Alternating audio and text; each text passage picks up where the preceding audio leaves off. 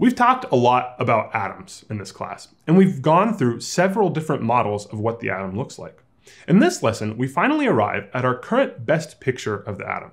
This might change in the future, but for now, the best picture we have of the atom is called the quantum model. Let's take a look and understand this model.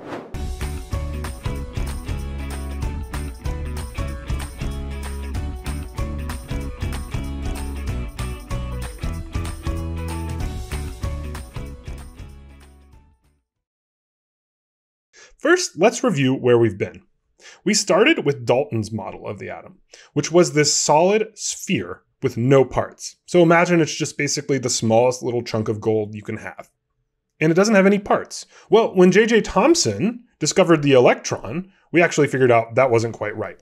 Nagaoka's planetary model was suggested, and then in part confirmed by Rutherford's gold foil experiment. And what it said was, yeah, we have a bunch of positively charged stuff in the center, like on the surface of a planet, and we have a ring where all of our electrons are.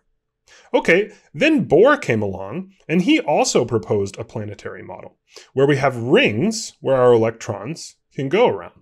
And remember, the big thing that Bohr added was that he named where all these rings were, he figured out what their energies were, and showed us how it interacted with light. Okay, that's where we've been, and those are some useful models. And in fact, we still use Bohr's planetary model today to think about its interaction with light. Because it's nice and simple, the quantum model is not simple. If we want to understand it, we have to start with understanding waves. Why is that? We'll get to that, but just trust me on this one. We have to understand waves before we can understand the quantum model. Let's take a look at these two water droplets. We have two droplets hitting right here, and they make these rings that expand concentric rings that expand from the two spots where water's dropped. And that'll happen too if you had two rocks that dropped in, whatever. We just have two waves and they're coming towards each other. Something pretty special happens once they start overlapping. Once those rings overlap with each other, they create what's called an interference pattern. Okay? The interference pattern, you can see particularly good examples of it all along here in between those two water droplets.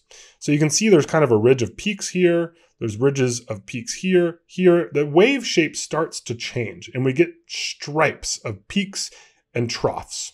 What's going on there? Well, when waves interact, they can either add up, that's called constructive interference, or they can subtract, and that's called destructive interference. Now, you don't need to know that, but the point is that waves, when they overlap, make new patterns, and we call those new patterns interference patterns. So waves make interference patterns. Here's the thing this happens regardless of what our wave is made of. So say you have a wave of light. Here we have a very similar example to what we saw on the last page with water. Notice we have basically the equivalent of two droplets of light. We have a light source sending light towards the screen, and it goes through one of two slits. Those slits are kind of like the two spots where our water droplets start. And then, just like we saw before, we get these concentric rings of light as it expands towards the screen. And then on the screen over here, notice we see stripes, okay? Those stripes are really important. When we do this experiment and we see these stripes, we know that we're dealing with a wave, and what we have there is called an interference pattern.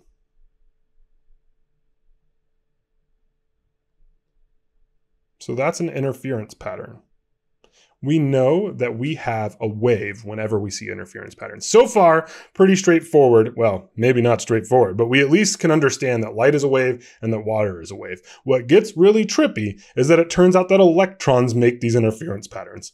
What in the world? Electrons we all think of as particles, but if we send them the, through these two slits and we accumulate it over time, we see on the screen this same interference pattern. All right. Now, the details of that are complicated. Remember, you could study this for a whole semester in college. But just understand that electrons make interference patterns, and so we think about them as a wave sometimes. So electrons can be waves.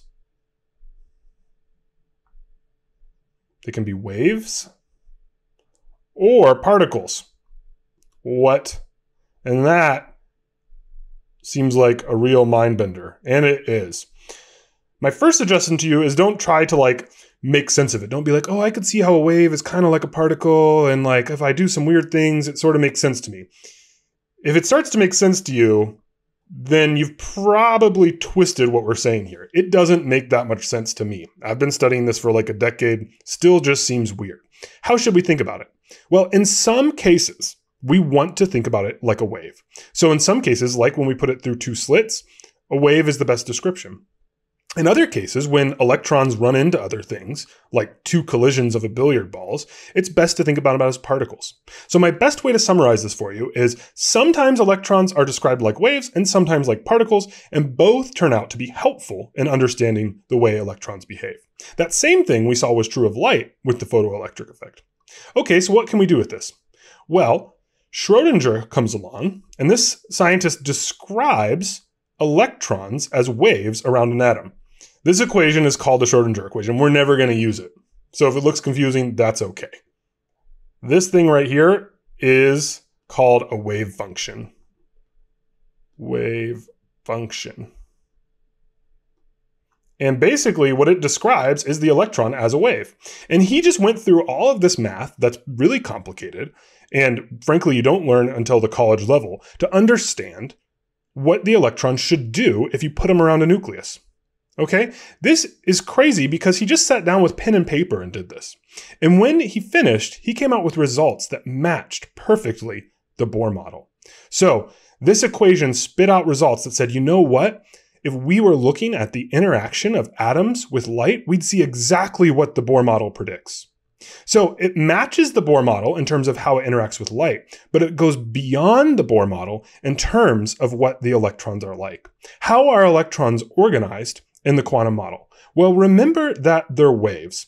And so when we think about electron waves, which sounds pretty trippy, what we mean is that the electrons are smeared out. So electrons in the quantum model are smeared out. So here is what we call the s orbital.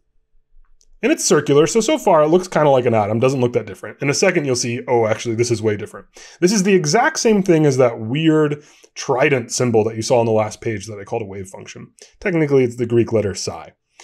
Orbitals are what show us how electrons are smeared out in space, and this is the s orbital. So this is just one of many ways that our electrons can be smeared out. Let's take a closer look at what an s orbital is saying. What we could do is we could look at it where we plot this nice circle and say, okay, that's the general shape that our electrons are smeared out in.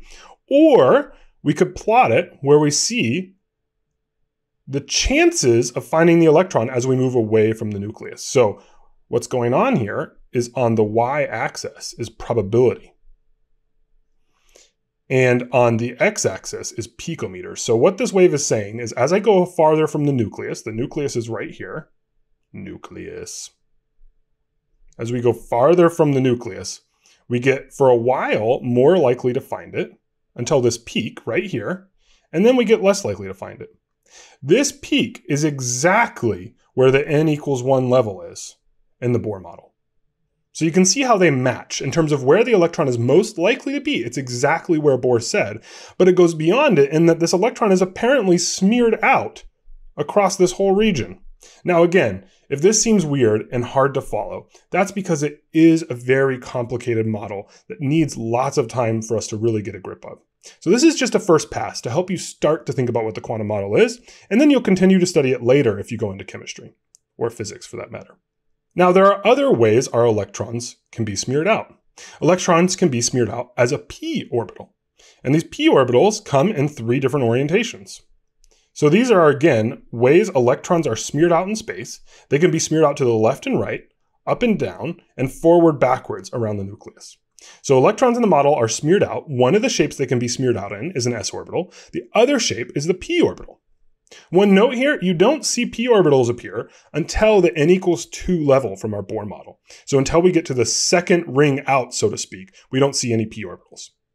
All right, the shapes continue and get crazy. Remember, he figured out all of this with pen and paper. This is the d orbital. It starts at n equals 3, and again, we see that the shapes just grow more complicated. I sometimes describe this as a, like a clover, because it's kind of like there's a four-leaf clover here. In any case, it's smeared out in a strange shape, the d orbital. The last orbital that they're smeared out in is called the f orbital. And so the f orbital has our electrons smeared out into these bizarre shapes.